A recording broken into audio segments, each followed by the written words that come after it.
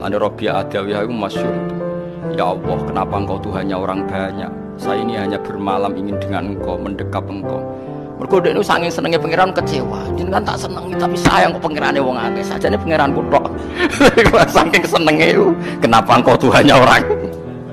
Saking senenge. Jadi kalau orang seneng kan ingin taksis, ingin khusus menguasai miliknya sendiri. Nah tuh ya Allah, kenapa engkau Tuhannya orang? Nabi turu itu gak iso turu gak wani. Ya Allah, saya tidak berani tidur. Nanti ada waktu yang saya tidak bersama engkau. Kowe wong tunggu ngono pangeran ora percaya. ngomong aja utang make